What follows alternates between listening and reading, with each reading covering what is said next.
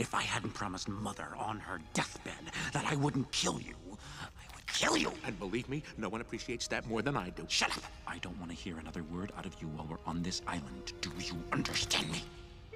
I said, do you?